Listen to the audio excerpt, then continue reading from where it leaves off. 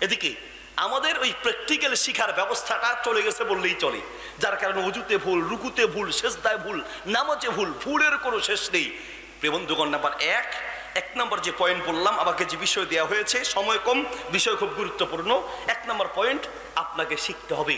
Number দুই দুই নম্বর point হচ্ছে, আপনার সন্তানকে ইসলাম শিখানো, দিন শিখানো আপনার উপরে ফরজ। আপনি নিজে শিক্ষা করা যেমন আপনার উপরে ফরজ, আপনার সন্তানকে শিখানো ফরজ। সাহেব বুখারিতে হাদিস এসেছে, মিসকাতে আছে আত্মার কি বত্তাহির কিতাব এসেছে, সহিহুল জান কিতাবে আছে, মুস্তাদ আহমদ এসেছে। নবী সাল্লাহ ইসলাম বলেছেন, কুল্লুকুম রাইন ওয়া কুল্লুকুম মাসউলুন আন রাইয়াতিহি। তোমরা প্রত্যেকেই দায়িত্বশীল, তোমাদের অধীনস্থদের ব্যাপারে তোমাদেরকে প্রশ্ন করা হবে। আপনার সন্তানকে কোন শিক্ষায় শিক্ষিত করেছেন? আপনাকে প্রশ্ন করা হবে। প্রত্যেকটা বাপের জন্য একটা কথা মনোযোগ দিয়ে শুনতে হবে, কলিজা দিয়ে শুনতে হবে, মনটা খুলে শুনতে হবে। প্রিয় বাবারা, প্রিয় মা, আপনাকে বলছি, আপনি সন্তানকে কোন শিক্ষায় শিক্ষিত করছেন? আপনি সেই শিক্ষায় শিক্ষিত করছেন, মনে করছেন যেই শিক্ষা গ্রহণ করলে টাকা বেশি কামানো যাবে। কেন আপনি আপনার ছেলেকে দুনিয়াবী শিক্ষায়, উচ্চ শিক্ষায় শিক্ষিত করছেন, কেন আপনি আপনার সন্তানকে দেশের পড়ালেখা শেষ করিয়ে চাচ্ছেন লন্ডন পাঠাতে, চাচ্ছেন কানাডা পাঠাতে, চাচ্ছেন আমেরিকা পাঠাতে? লক্ষ্য, উদ্দেশ্য একটাই, আমার ছেলে বড় অফিসার হবে, বড় টাকাওয়ালা হবে, বড় ধনী হবে। আর যদি কোরআন পড়ে, মাদ্রাসায় পড়ে, হুজুরেরা পাতি খাইতে পারে না। ওদেরকে পড়ায় লাভটা কি? আল্লাহর কসম, যদি আপনার কলিজার ভিতরে এই কথা আসে, আমি আমি আমি আপনাকে অন্তর থেকে কথাটা বলতে পারি। তা হচ্ছে, আপনার ইমান এখনও পরিপূর্ণ ঠিক হয় নাই। আপনার ইমান ঠিক হয়নি আপনার ইমান ঠিক হয় নাই, মনে রাখবেন, আপনার সন্তানের রিজিক ওই ইংরেজি শিক্ষার ভিতরে নাই। আমি ইংরেজি শিক্ষার বিরোধী না। ইংরেজি আপনি শিখান, অঙ্ক আপনি শিখান, ভার্সিটিতে পড়ান, তবে আগে সন্তানকে দিন শিখাবেন, এটা আপনার উপরে প্রথম ফরজ। দিন শিখার পরে পাশাপাশি সে অঙ্ক, ইংরেজি, জেনারেল লাইনে শিক্ষিত হবে, অসুবিধা নেই। কিন্তু আমি আপনার টার্গেটের কারণে আমি অবাক হচ্ছি। আমি আপনার টার্গেটের কারণে অবাক হচ্ছি। আপনার টার্গেট আমার ছেলে বড় অফিসার হবে, আমাকে খাওয়াবে। মিয়া সাহেব, সন্তান যদি সুসন্তান না হয়, সন্তানের ভিতরে যদি কোরআন সন্ন্যার শিক্ষা না ঢুকে, এই সন্তান কোটিপতি হতে পারে। কিন্তু ওই সন্তান দিয়ে আপনার লাভ তো হবে না, বরং আপনার জীবন ধ্বংস হবে। তার বাস্তবতা দেখেন না? গত কয় কয়েকদিন আগের কথা, বাড্ডায়, ঢাকাতে তার বাড়ি আছে, নরসিংদীতে তার বাড়ি আছে ব্যাংকার ব্যাংকার কোটি কোটি টাকা তার আছে। সেই কোটি টাকার মালিকটা যখন মারা গেল। ছেলেরা তার লাশটাকে গাড়ির গ্যারেজে ফেলে রেখেছে। তার লাশটাকে গাড়ির গ্যারেজে দুই দিন পর্যন্ত ফেলে রেখেছে। সম্পদ বন্টন করছে। ছেলে এদিকে কোটি কোটি টাকার মালিক, অথচ নিজের টাকা দিয়ে তার জানাজার, তার কাফন আর দাফনের ব্যবস্থা হয় নাই। এলাকার মানুষেরা চাঁদা তুলে তার কাফন আর দাফনের ব্যবস্থা করেছে। কি বুঝতেন কি বুঝতেন মিয়া সাহেব, অসুস্থ হলে আমরা ছেলের চিন্তা করি, মেয়ের চিন্তা করি, আমার ছেলের কি হবে, আমার মেয়ের কি হবে, আমার স্ত্রীর কি হবে, আহা, আমার সন্তানদের কি হবে? আর সন্তান সন্ততি, স্ত্রী, বিবি, বাচ্চা, তাদের কি হবে? এটা পরে চিন্তা করেন, আগে চিন্তা করেন, আপনার কি হবে, ঠিক কি না আমি আপনার জন্য বলছি, আল্লাহ তাআলা বলছেন ওয়ামাল হায়াতুদ দুনিয়া ইল্লা বাতাউল গুরুর। এই সারা দুনিয়াটা হচ্ছে ধোকা। আরে ভাই কথাটা কলিজার ভিতরে ঢুকান। সারা দুনিয়াটাই স্বার্থ। আপনার বাপ আপনাকে ব্যবহার করছে। আপনার শ্বশুর আপনাকে ব্যবহার করছে। আপনার শাশুড়ি আপনাকে ব্যবহার করছে। আপনার স্ত্রী আপনাকে ব্যবহার করছে। আপনার স্বামী আপনাকে ব্যবহার করছে। আপনার বন্ধু আপনাকে ব্যবহার করছে। সারা দুনিয়াটাই স্বার্থ। আজ টাকা আছে, বন্ধু আছে। আপনার ক্যারিয়ার আছে, বন্ধু আছে। ক্ষমতা আছে, বন্ধু আছে। অর্থ আছে, বন্ধু আছে। আজকে আপনি সব হারিয়ে নিঃস্ব হয়ে যান, আপনার বন্ধুটাও শত্রুতায় পরিণত হবে। কথা বলে ঠিক কিনা? সারা দুনিয়াটাই স্বার্থ। সারা দুনিয়াটাই স্বার্থ। কি ভেবেছেন? কি ভেবেছেন? কার জন্য করছেন? আপনার ছেলের জন্য? আপনার মেয়ের জন্য? সেই ছেলে আর মেয়েকে দিন শিখিয়ে যান। এগুলো আপনার জন্য কাজে লাগবে। আর না হয় দুনিয়ার থেকে বিদায় হওয়ার পরে তারা সম্পদ নিয়ে টেনশন করবে। আপনি বাপের কি অবস্থা হবে? আপনি মায়ের কি অবস্থা হবে? জীবনে একবারও চিন্তা করবে না। এখানে এমন বহু সন্তান আছে, মাসের পরে মাস চলে গিয়েছে, কিন্তু নিজের মার বাপের জন্য মাসে একবারও দোয়া করে নাই এমন বহু সন্তান এখানে আছে। কথা বলেন ঠিক কিনা? এমন বহু সন্তান আছে। গত সপ্তাহে একটা ভিডিও দেখলাম, একটা ভিডিও। সেই ভিডিওতে একজন ন মুসলিম পড়ছে খোঁজে আপনারা যারা জন্মগতভাবে মুসলিম যার মা মুসলিম, যার বাবা মুসলিম, তার চেয়ে ভাগ্যবান পৃথিবীতে আর কেউ নাই। সে বলছে যে, আপনি চাইলে আপনার বাবার জন্য দোয়া করতে পারেন। কারণ মুসলিমের জন্য দোয়া করা যায়। আপনি চাইলে আপনার মায়ের জন্য দোয়া করতে পারেন। আপনি চাইলে আপনার পরিবারের জন্য দোয়া করতে পারেন। ন মুসলিম সে বলছে, আমি মুসলিম হয়েছি। আমার মা বাবা আমার সন্তান, সন্ততি, তারা মুসলিম হয় নাই। চাইলে আপনি দোয়া করতে পারবেন। কিন্তু আমার মা বাবা যেহেতু মুশ্রেক, আমি চাইলেও দোয়া করতে পারব না। আল্লাহু আকবার! আর আপনাকে আল্লাহ কত বড় নিয়ামত দিয়েছেন, কি দিয়ে বুঝাই? কি দিয়ে বুঝাই? আজকে এতদিন চলে গেল। কই? আপনি আপনার বিবেককে প্রশ্ন করেন। যে মায়ের রক্ত চষে দুনিয়া আগমন করেছেন, সেই মায়ের জন্য দোয়া করার কথা আপনার মনে থাকে না। যেই বাবার, যেই বাবা মাথার ঘাম পায়ে ফেলে আপনার জীবনটাকে বাঁচিয়ে রেখেছে, সেই বাবার কথা আপনার মনে নেই। কথা বলেন ঠিক কিনা? অথচ আপনার মায়ের কাছে যান। মাকে গিয়ে বলেন, মা মা তুমি বলো তো, তুমি যখন দোয়া করার জন্য দুটি হাত আল্লাহর কাছে তুলো, ও মা তাহাজ্জুদের সময় যখন দোয়া করো, তুমি কি মা, তোমার ভাইয়ের জন্য দোয়া করো আগে, তোমার বোনের জন্য, তোমার প্রতি পরিবারের জন্য, নাকি তোমার নিজের জন্য প্রত্যেকটা মা বলবে, বাবা, আমি যখন দুই হাত তুলে দোয়া করি, আমি সর্বপ্রথম আমার ভাইয়ের কথা মনে থাকে না, আমার বোনের কথা মনে থাকে না, আমি নিজের কথা ভুলে যাই আমি যখন হাত তুলে দোয়া করি, আমি সর্বপ্রথম দোয়া করি, বাবা, তোমার জন্য দোয়া করি, আল্লাহ। প্রত্যেকটা মা তোমার জন্য দোয়া করে। আর সেই মাকে ভুলে আছো? মাসের পরে বাস চলে গেল। তোমার মুখ দিয়ে রব্বির হামহুমা। কেমা রব্বায়ার সাগির, একবারও বের হয় নাই। তোমার বাসের পরে বাস চলে গেল। তোমার বাবার জন্য রব্বির হামহুমা। কাবা রব্বায়ারি সাগির, একবারও বের হয় নাই।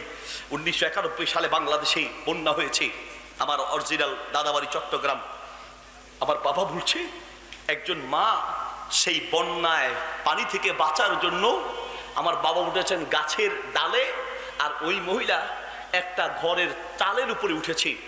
সেই চালের উপরে উঠে আল্লাহ আকবার, যখন পানি বাড়তে বাড়তে কম বুক পর্যন্ত এসেছে, ওই মা ছেলেটাকে উপরের দিকে ধরে, ছেলেটাকে উপরের দিকে ধরে আল্লাহর কাছে দোয়া করতে লাগলেন, রব, আমার যদি হায়াত থাকে, আমার হায়াতটুকুনো আমার এই ছেলেকে দাও। আমাকে নিয়ে যাও, আমার কোনো আফসুস নাই। আল্লাহ, আমার হায়াত এই ছেলেকে দাও, আমাকে দুনিয়ার থেকে নিয়ে যাও। কিন্তু আমার এই সন্তানটাকে বাঁচিয়ে রাখো প্রত্যেকটা মা তার জীবনের চেয়ে তার সন্তানকে বেশি ভালোবাসে, ঠিক না দুনিয়াটা কত বড় স্বার্থ। আর সেই তোমার বউকে পেয়ে, তুমি তোমার শ্বশুর শাশুড়িকে পেয়ে, আজ তোমাকে বড় মূল্যায়ন করছে।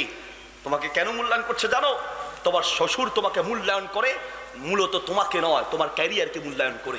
তোমার শাশুড়ি তোমাকে মূল্যায়ন করে, মূলত তোমাকে নয়। শ্বশুরের কাছে তোমার দাম আছে, তোমার ইনকাম ভালো, তোমার শাশুড়ির কাছে তোমার দাম আছে, একটু মেহরবানি করে বসেন। তোমার শাশুড়ির কাছে তোমার দাম আছে, তোমার ইনকাম ভালো, তোমার বন্ধুর কাছে তোমার দাম আছে। তোমার টাকা রুজি ভালো, তোমার প্রতিবেশীর কাছে তোমার দাম আছে। তুমি যখন নিঃস্ব হয়ে যাবে, তোমার আপন বন্ধুরা তোমাকে শত্রুতায় পরিণত করবে। বিশ্বাস হয় না? সারা দুনিয়াটাই স্বার্থ। বান্দার জন্য আল্লাহর চেয়ে আপন পৃথিবীর কেউ নাই, ঠিক কিনা? পৃথিবীতে কে আছে এমন দেখাও একজন নিঃস্বার্থ ভালোবাসে? তুমি যখন তোমার মায়ের পিঠের ভিতরে ছিলা, তুমি যখন তোমার মায়ের পিঠের ভিতরে ছিলা, কোন ডাক্তার তোমাকে খাইয়েছে? তোমার মা তোমাকে খাদ্য দিয়েছে তোমার মায়ের পিঠের ভিতরে? তোমার বাবা দিয়ে- দিয়েছে? তোমার বন্ধু দিয়েছে? তোমার মায়ের পেটের ভিতরে তোমার রিজিকের ব্যবস্থা যিনি করেছেন তিনি কে? আল্লাহ তাআলা। সে আল্লাহকে ভুলে গেলে আল্লাহ তাআলা ডাক দিয়ে বলেন, ইয়া আইয়ুহাল ইনসান, মা কারীম। হে বান্দা ও মানুষ, দয়াময় আল্লাহর ব্যাপারে কোন জিনিস তোমাকে ধোকায় ফেলে দিয়েছে? কোন জিনিস? যার জন্য সারা জীবন শেষ করছেন? যেই ছেলে, যেই মেয়ে, আহা, দুনিয়ার শিক্ষায় শিক্ষিত করছেন। কারণ সে দুনিয়াতে ভালো থাকবে, এই জন্য তারা ওই শিক্ষায় শিক্ষিত করছেন। আরে বিয়ে সাহেব, আপনার খবর আছে? যান আজকে সেই ছেলের, যেই ছেলের জন্য হারাম ইনকাম করছেন। যান আজ সেই মেয়ের কাছে, যেই মেয়ের জন্য হারাম চাকরি আর ব্যবসাটা ছাড়তে পারছেন না। যান সেই স্ত্রীর কাছে, যেই স্ত্রীর জন্য আপনার ওই হারাম রুজিটা ছাড়তে পারছেন না।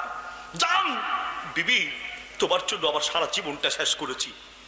বহু বহু স্বামী এমনও আছে নিজের স্ত্রী আর সন্তানদের সুখের জন্য দেশ ছেড়ে বিদেশে পাড়ি জমিয়েছে, ঠিক না? আর আমরা প্রবাসী মানি মনে করি যে টাকার মেশিন কথা বলেন। বিদেশ গেছে, এটা একটা টাকার মেশিন খালি টাকা আসবে। নিয়েছে বিদেশে যারা যায়, জেলখানা চিনেন? জেলখানা? জেলখানা যেতে মানুষ ভয় পায়। জেলখানার চেয়ে কয়েক গুণ আরও বেশি কঠিন জায়গা হচ্ছে ওই প্রবাস, ওই বিদেশ, ঠিক না? অসুস্থ জেলখানায় তো মাস দুই মাস পর হলেও পরিবারের সাথে দেখা করা যায়। কথা বলা যায়, দেখা করা যায়, একটু দুই চোখে দেখতে পারে। কিন্তু বিদেশে এমন একটা জায়গা, দুই এক মাসে দেখার কোনো সুযোগ আছে? আহা, নিজে অসুস্থ হলে নিজের চিকিৎসা নিজেকে করতে হয়। কথা বলেন, কেউ এসে মাথায় পানি দিবে, সেই লোকটাকে খুঁজে পাওয়া যায় না। আর আপনারা তাদেরকে টাকার মেশিন মনে করেন। প্রবাসী মানি, টাকার মেশিন আবদারের শেষ নাই। বিদেশ থেকে যখন আসে আপনার বন্ধুটা আপনার কাছে আসবে। দোস্ত, কেমন আছো? আর তাকাবে আপনার ওই ট্রলি ব্যাগটার দিকে। আপনার ভাই খোঁজ দিতে আসবে, বোন খোঁজ দিতে আসবে, আর তাকাবে ট্রলিটার দিকে। আর আপনার বিবি বলবে, দিনের বেলা এই ট্রলি খোলা যাবে না। হ্যাঁ? এটা একশো চুয়াল্লিশ ধারা জারি এই ঘরের ভিতরে। ট্রলি খোলা যাবে না। রাতে ঘরের দরজা বন্ধ করে তারপরে খুলবো। দিনের বেলা যদি খুলি, তাহলে এটা ভাগ হয়ে যাবে। কথা বলি না আর ভালো ভালো যেগুলো আছে, সবগুলা ওই নিজের নিজের বাড়ির দিকে যাবে। সবাই তো আর এমন না, অনেকেই। কথা বলে, ঠিক না কয়দিন পর পরই ফোন দিলেই, ভাইয়া, তুমি তো ডুবাইতে আছো, আসার সময় দুবাই দিয়ে আসবা না? ওই যে মোবাইলটা, মনে রাখো বোনের আবদার, ভাইয়ের আবদার হা সন্তানদের আবদার, প্রতিবেশীর আবদার, এই আবদার রাখতে রাখতে নিজের যে কিছু দরকার তাও মনে থাকে না, ঠিক কিনা? প্রায় প্রবাস প্রবাসের জীবন ঘটেছে। ঈদ আসলে পরে? আল্লাহ আকবার বলেন। ঈদ আসতে পরে বহু প্রবাসীর জীবন এমন হয়েছে, ছেলের জন্য কি, মেয়ের জন্য কি, মায়ের জন্য কি দিবে, বাবার জন্য কি দিবে, প্রতিবেশীর জন্য কি দিবে, আত্মীয়র জন্য কি দিবে, এই চিন্তা করতে করতে নিজের কাপড়টা যে ইস্তারি করা হয় নাই, সেই কথাটাও ভুলে যায়। নিজের কাপড়টা যে ঈদের দিন আর নতুন কাপড় দূরে থাক পুরানটা যে ধুয়ে রাখবে, সেই কথাটাও ভুলে যায়। সেই কথাটাও ভুলে যায়। প্রিয় বন্ধুগণ, আপনি যে স্ত্রীর জন্য যে সন্তানের সুখের জন্য দেশ ছেড়ে বিদেশি হয়েছেন, প্রবাসে গিয়েছেন, যার আজকে সেই বিবির কাছে? বিবি, আমি যখন দুনিয়ার থেকে বিদায় হব আবার কবরের পাশে, কবরের ভিতরে সারা জীবন তো আমি ওই কবরে একা থাকব। বিবি, একটা মাত্র রাত তোমার কাছে আবদার। প্রথম রাতটা আমার সাথে, আমার কবরে থেকো, আমি ভয় পাবো। থাকবে? কলিজার টুকরা ছেলে, একটা মাত্র রাত আমার সাথে, আমার কবরে থেকো। কলিজার টুকরা মেয়ে একটা মাত্র রাত আমার সাথে আমার কবরে থেকো। আরে, আপনার মৃত্যুর পরে আপনার সন্তান, স্ত্রী কবরে থাকবে, দূরে থাক। আপনি যেই জায়গায় মারা যাবেন, সেই ঘরে একা থাকতে ভয় পাবে। আপনার লাশের কাছে একা থাকতে ভয় পাবে। আর কয়েক বছর চলে গেলে আপনার নামটাই ভুলে যাবে। এটাই সারা দুনিয়া, এটাই সারা দুনিয়ার নীতি আর নীতি। একমাত্র আল্লাহ ছাড়া বান্দার আপন বলতে কেউ নাই। আল্লাহু আকবার। কে আছে এমন? প্রতিদিন রাতের বেলা প্রথম আসমান এসে ডাকে হালবি মুস্তার মুস্তার সিকিন বান্দা, কি লাগবে তোমার বলো? হালমি মুস্তাক ফিরিন ফাগ ফিরালা বান্দা ক্ষমা লাগবে? আসো, আমার কাছে ক্ষমা চাও। তুমি ক্ষমা চাইতে দেরি হবে। আমি ক্ষমা করতে দেরি হবে না। পৃথিবীর মানুষের কাছে ক্ষমা চাইলে ক্ষমা পাওয়া যায় না। আজকে ক্ষমা করবে তো দশ বছর পরে হলেও খোটা দিবে। আপনার স্ত্রীর সাথে কোনো অন্যায় আচরণ করেছেন, দশ বছর পরে হলেও আপনাকে খোটা দিবে। স্বামীর সাথে কোনো অন্যায় আচরণ করেছেন, বিশ বছর পরে হলেও খোটা দিবে। প্রতিবেশীর সাথে অন্যায় আচরণ করেছেন, ভুল করেছেন, মাপ চাইতে চাইতে শেষ, মাপ পাওয়া যায় না। পৃথিবীর মানুষ মাপ করতে চায় না। আর আল্লাহ বলে, বন্দা, মানুষ মাফ করতে চায় না। আর আমি আল্লাহ তোমাকে মাফ করার জন্য ডাকি। তুমি চাইতে দেরি হবে। আমি আল্লাহ ক্ষমা করতে দেরি হবে না। আল্লাহ আকবার। বান্দা, কি লাগবে? হালমি মুস্তার রিজিক লাগবে বান্দা, রিজিক। বলো আমার কাছে। ও বান্দা তোমার রিজিক লাগবে, সারা দুনিয়া তোমার কাছে যায়, সারা দুনিয়া তোমাকে এইরকম টিস্যুর মতো ব্যবহার করে ফেলে দেয়, সারা দুনিয়া তোমাকে ব্যবহার করে, সারা দুনিয়া তোমার কাছে চায়, আর আমি আল্লাহ তোমাকে দিতে চাই, আল্লাহ আকবার। সেই আল্লাহকে চিনলেন না? রিজিকের টেনশন আপনার? সুরাহুদের ছয় নম্বর আয়তে আল্লাহ বলছেন ওয়ামা মিন দাব্বাতিন ফিল আরদি ইল্লা আলাল্লাহি রিজকুহা। এই পৃথিবীতে প্রত্যেকটা প্রাণীর রিজিক দেওয়ার দায়িত্ব কার? রিজিক দেওয়ার দায়িত্ব কার? আল্লাহ সুবহানাহু ওয়া তাআলা সুবহানাল্লাহ বলেন আপনার সন্তানের রিজিক কি হবে? রিজকুকুম ফিস সামা। রিজিক কোথায়? আসমানে। পড়ালেখা না থাকলেও এদিকে পৃথিবীতে এমন বহু মানুষের ইতিহাস আছে কিচ্ছু ছিল না। কিন্তু আল্লাহ এমন রিজিক দিয়েছে, সে কল্পনাও করেনি। আল্লাহ আকবার। সূরা তলাকের তিন নম্বর আয়াতে আল্লাহ সুবহানাহু ওয়া তাআলা বলছেন, ওয়ায়ারযুকুহু মিন হাইসু লা ইয়াহতাসিব। ওয়ায়ারযুকুহু মিন হাইসু লা ইয়াহতাসিব।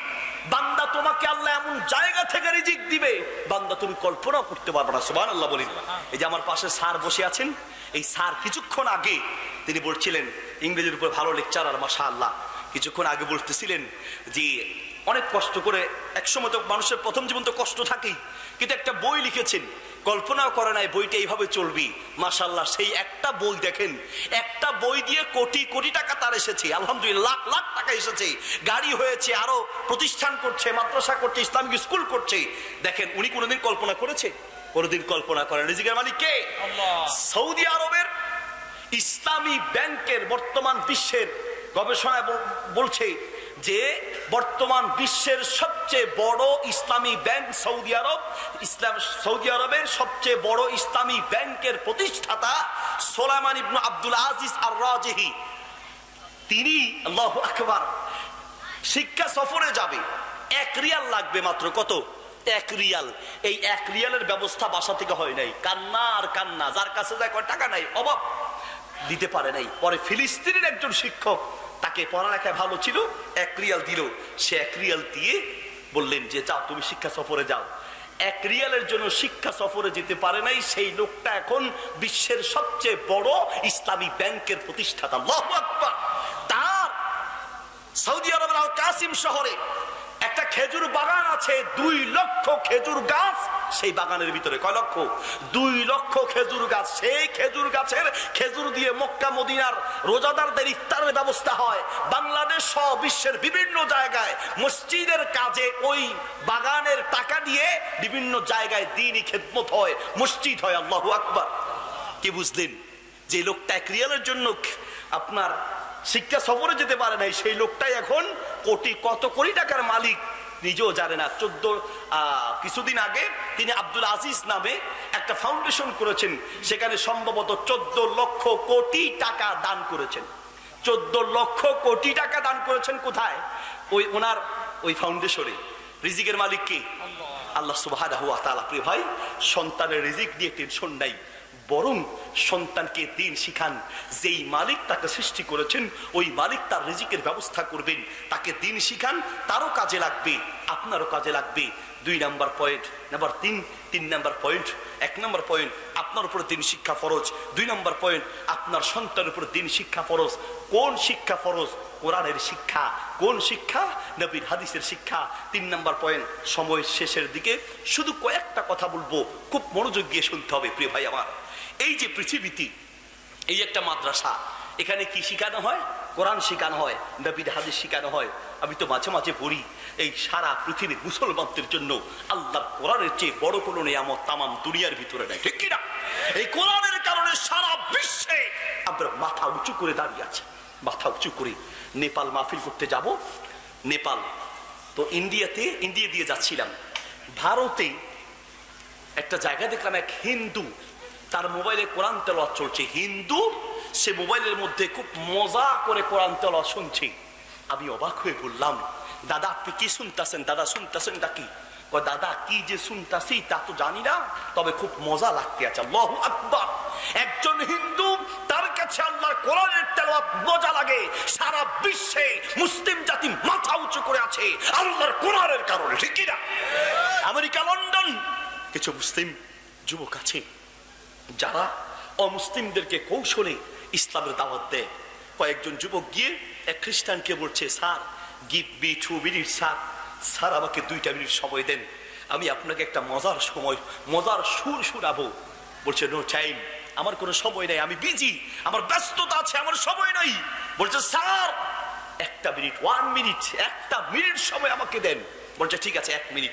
এক মিনিটের টাইম নিয়ে মোবাইলে হেডফোন ঢুকিয়ে, মোবাইলে কাবা শরীফের ইমামের তেলাওয়াত চালু করে যখন ওই খ্রিস্টানের কানে ঢুকিয়ে দিয়েছি। যেই খ্রিস্টান বলেছে, দুই মিনিটের টাইম নেই।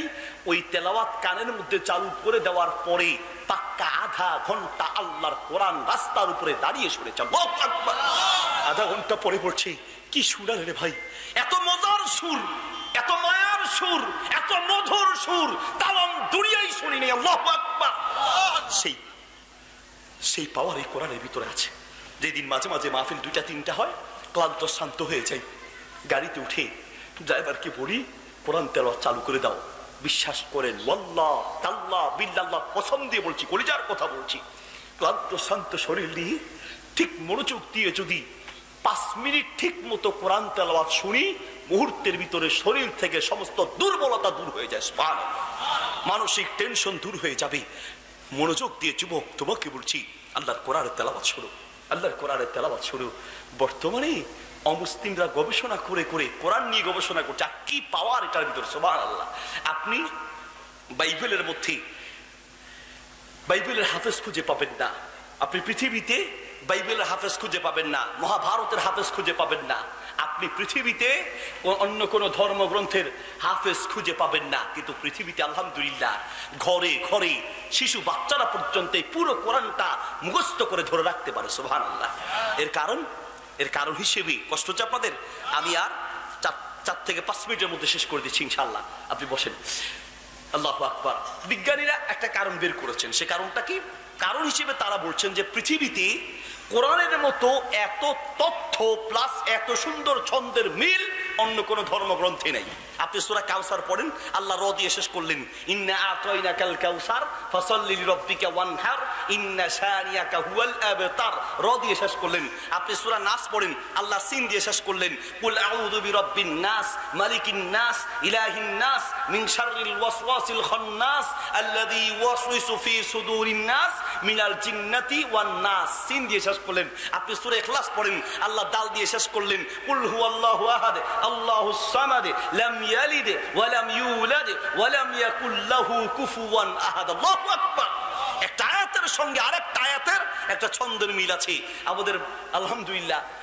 আমার সৌদি আরব থেকে গত কয়েক বছর আগে একজন সৌদি আরবের বক্তা বাংলাদেশে এসেছেন।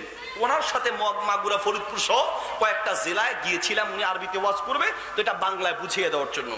বাংলাদেশের কয়েকটা জেলা ঘুরে তিনি আমাকে বলছেন বাংলাদেশ বাঙালিরা কোরআনের মতো তাল মিলায় মিলায় কথা বলে। আমি চিন্তা করে দেখলাম আসলে ঠিক। এক একজন বাঙালি কয়েকটা দেশের ভাষা মুখস্থ রাখতে পারে। এটার বড় একটা কারণ বাংলা বাঙালিদের মাঝে একটা ভাষার সুন্দর তাল আছে। আপনি সিলেটে যান, সিলেটের ভাষার একটা তাল আছে। আহুগা বহুগা দেহুগা লেহুগা খাউগা আপনি চিটংয়ে যান, চিটংয়ের একটা ভাষার তাল আছে। শূন্য না হাইয় না দেখ না বুঝ না লেখ না। না না না আপনি কুমিল্লায় যান, কুমিল্লার ভাষার একটা তাল আছে। আই সত্যি বই সত্যি হুন সত্যি দেখ সত্যি লেখ সত্যি তি তি তি। আমার ভাইরে মমন সিং যান মমন সিং এর ভাষার একটা তাল আছে। হুন শুন খাই শুন বুঝ শুন শুন শুন কথা ঠিক কিনা?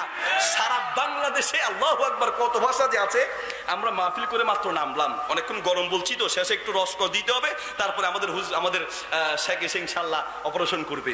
প্রিয় ভাই, মাহফিল শেষ করে নামলাম। বরিশালের একজন এসে সাহেবকে বলতেছে সাহেব আমরা আওয়ার সময় হুজুর বটবড়িতে হইতে আইতে আসসালাম বরিশালের ভাষা, বুঝেন তো। মোরা বটবড়িতে হইতে আইতে আসসালাম আওয়ার সময় বটবড়ি উল্টাইয়া, মোরা পইরিয়া হুজুর, এমন ব্যথা পাইছি মোগলেকে দোয়া হইলেন। এই ভাষা কি উনি বুঝছে? আর উনি তো বুঝে নাই, কিন্তু আমি ওনারে বুঝাবো কি দিয়া? উনি আমারে বলতেছে মায়া কুল কি বলতেছে? কি যে বলতেছে, আমি কেমনে বুঝাই? আমারে বলতেছে, লিমান সাকাত্তা, তুমি চুপ কেন? চুপ যে কেন? ওনারে কেমনে বুঝাই ভাষা? যাক, চিন্তা করলেন, এখন যদি বুঝাইতে না পারি, তাহলে আমার বদনাম হবে। এমন বক্তা দিছে সাথে, ওটা আরবি বুঝে না, ঠিক কিনা বদনাম হবে। তো এটা আরবি বানাইলাম। ইন্নাহুম রকিবু আলা বটবড়ি।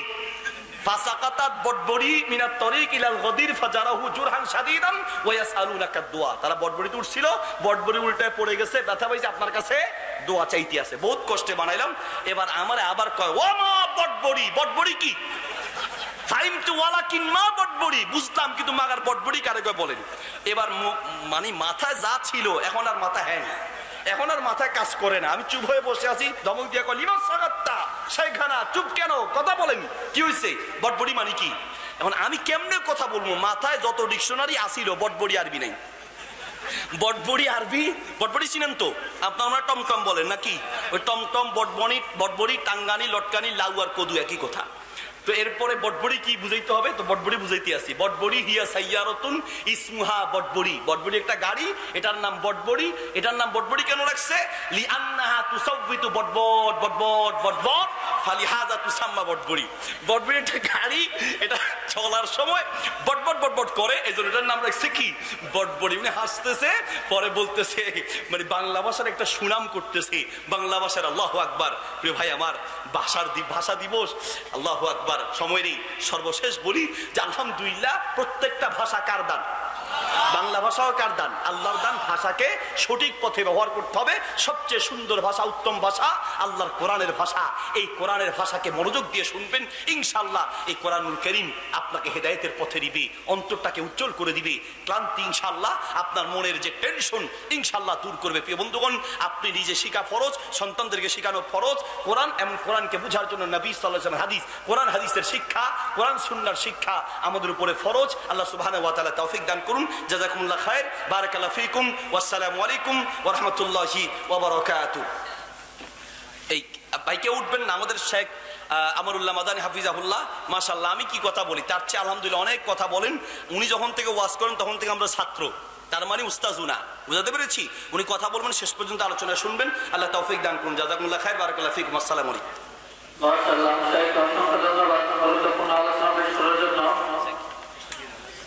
हमारे तो दीनी भाई।